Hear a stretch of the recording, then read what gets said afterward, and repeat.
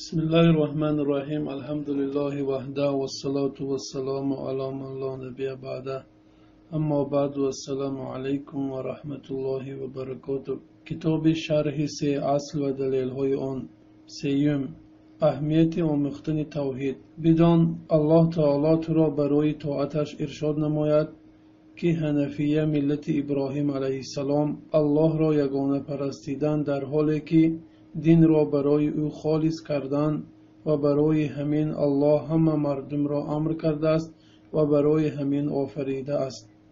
Ҳамчуноне ки аллоҳ таоло мефармояд наофаридам ҷин ва инсро магар ин ки маро ибодат кунанд ва маънои ибодат кунанд ягона бипарастан мебошад ва бузургтарин чизе ки аллоҳ ба он амр кардааст тавҳид аст ва он ягона парастидани аллоҳ аст ва бузургтарин чизе ки аллоҳ аз он наҳй кардааст ширк мебошад ва ширк дуои ғайри аллоҳ ҳамроҳи ӯ мебошад ҳанафия ҳанафия дар луғат аз калимаи ҳанаф гирифта шуда ба он майл кардан аст ҳанафия дар шариат ҳамон миллати майлкунанда аз ширк ба сӯи ихлос тавҳид ва имон мебошад фармонбардори аллоҳ ҳаниф холӣ аз инҳироф буд яъне рӯйгардон ба сӯи аллоҳ ва аз ширк пӯшгардон буд.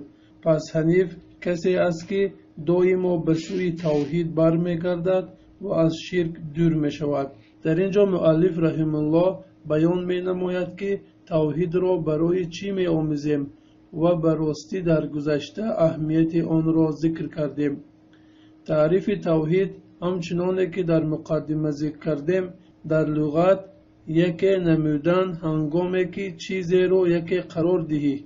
Дуввум дар шариат ягона қарор додани аллоҳ ба он чизе ки дар рубубият улӯҳият ва исмҳо ва сифатҳо ихтисос дорад.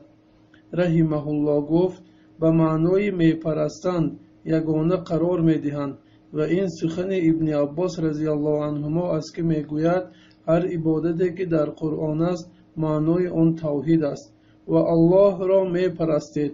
Яъне ягона қарор диҳед. Э мардум парвардигоратонро бипарастед. Э мардум парвардигоратонро ягона қарор диҳед